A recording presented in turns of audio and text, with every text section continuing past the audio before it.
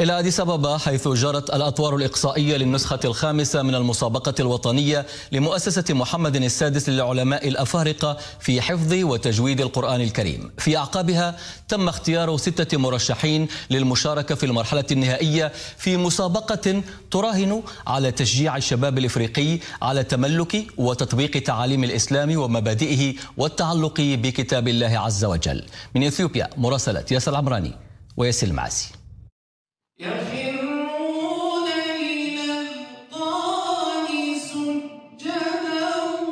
حوالي 56 مرشحا شاركوا في المسابقة الوطنية لحفظ وتجويد القرآن الكريم المنظمة من طرف مؤسسة محمد السادس للعلماء الأفارقة.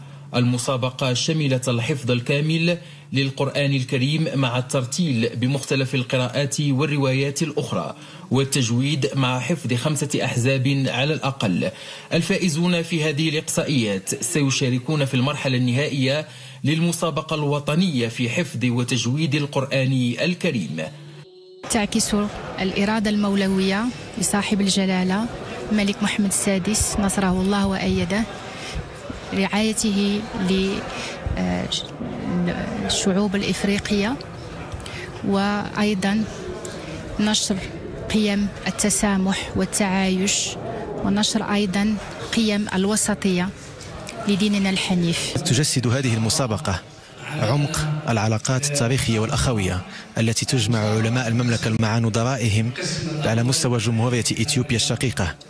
حيث تعبر أيضا عن العناية المولوية السامية لمولانا أمير المؤمنين صاحب الجلالة الملك محمد السادس نصره الله رئيس المؤسسة الرامية إلى حفظ كتاب الله عز وجل وحفظ الدين الإسلامي وقيمه على مستوى ربوع القارة الإفريقية. وتهدف هذه المسابقة القرآنية إلى تشجيع الناشئة والشباب الإفريقي على الاهتمام بحفظ القرآن الكريم وترتيله وتجويده ومدارسته. تنظيم المراحل الانتقائية في أديس أبابا يندرج أيضا في إطار التعاون بين علماء المغرب وإثيوبيا والمسابقة تهدف إلى تشجيع الشباب الإفريقي على تملك وتطبيق تعاليم الإسلام ومبادئه النبيلة وكذا التعلق بكتاب الله من خلال تلاوته وحفظه. نشكر أمير المؤمنين وكل القائمين بهذه المهمة آه، على أن يمد أن ينصر الله سبحانه وتعالى ديننا الكريم وأن يجعل بيننا وبينهم المحبة والتوفيق والتعاون والتعايش السلمي إن شاء الله تعالى. هذه المسابقة في هذا المكان وهو المكان المناسب والملائم. فطبعا أمير المؤمنين يعطي أولوية آه، في خدمة الإسلام والمسلمين ولإثيوبيا أن يكون نصيبا بهذا المجال.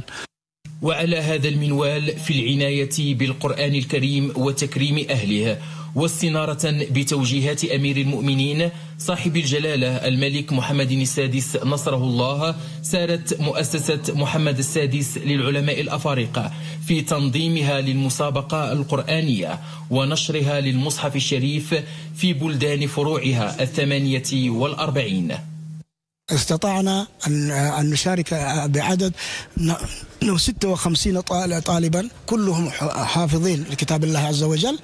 فهذا من أثر أيضا المسابقة السابقة التي كانت مشجعة ل- للخوض في هذه المنافسة.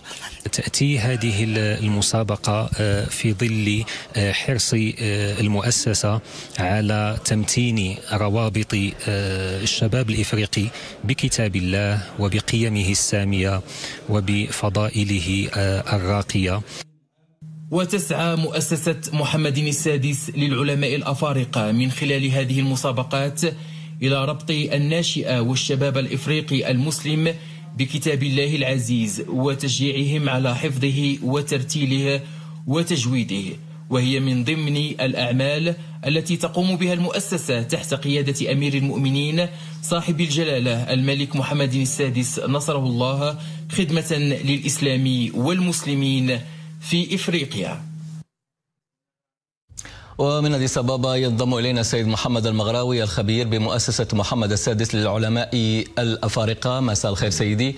اذا وفية لأدوارها في تشجيع الشباب الإفريقي على تملك وتطبيق تعاليم الإسلام ومبادئه والتعلق بكتاب الله عز وجل. مؤسسة محمد السادس للعلماء الأفارقة نظمت هذه المسابقة. وأسألكم سيدي ماذا عن حصيلة هذه المرحلة؟ بالفعل تمت إقصائيات الدورة الخامسة لمسابقة مؤسسة محمد السادس للعلماء الأفارقة في حفظ القرآن الكريم وترتيله وتجويده وقد عرفت نجاحا كبيرا بالعدد الكبير من المتسابقين الذين شاركوا في فروع هذه المسابقة وبلغ عددهم 56 متسابقا من مختلف الأعمار.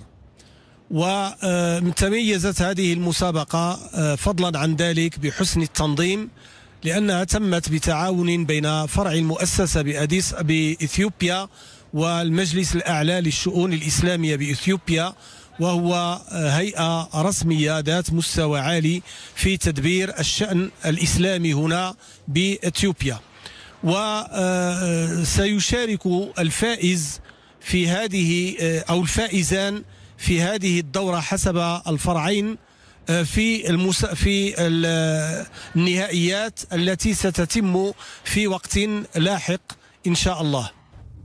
طيب سيد المغراوي كيف يساهم تنظيم مثل هذه المسابقات في نشر قيم الإسلام السمحه وقيم التضامن والتسامح وماذا عن جهود المؤسسة لتكريس هذه الرسالة؟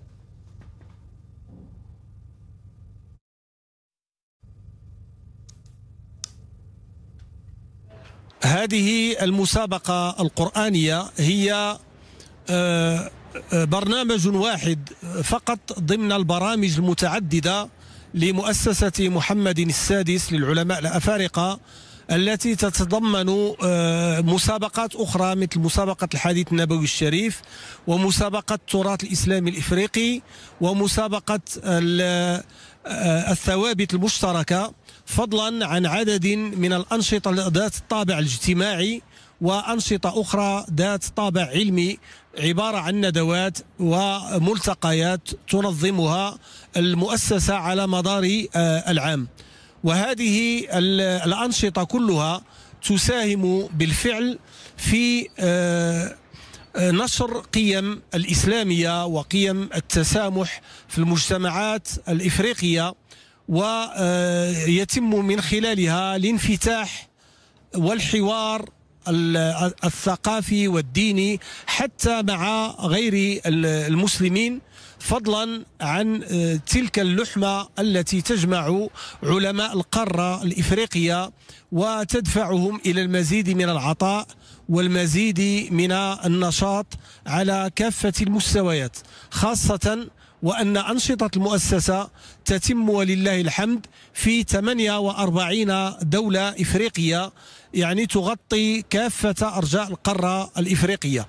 وهذه الأنشطة هي بالفعل يتم من خلالها تنزيل برامج المؤسسة التي ليست أنشطة موسمية ولكنها أنشطة دائمة أي تتم خلال السنة بكاملها. شكرا لك سيد محمد المغراوي الخبير بمؤسسة محمد السادس للعلماء الأفارقة. كنت معنا من أديس أبابا.